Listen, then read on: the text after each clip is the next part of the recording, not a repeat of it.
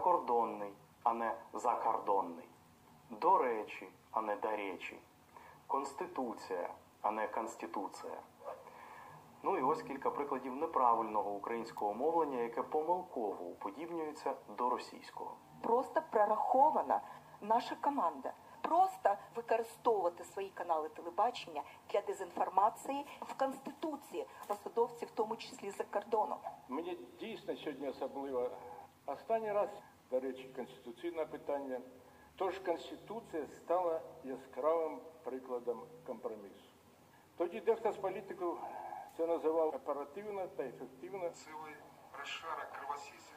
Якщо ви все життя послуговувалися російською, то м'язи губів у вас майже не розвинені, так само, як і м'язи діафрагми.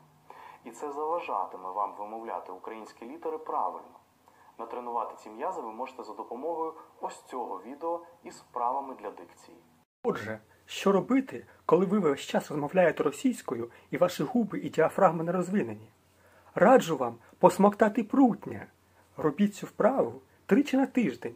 Тоді ваші губи і діафрагма стануть розвиненими, а ваша щелепа стане на місце.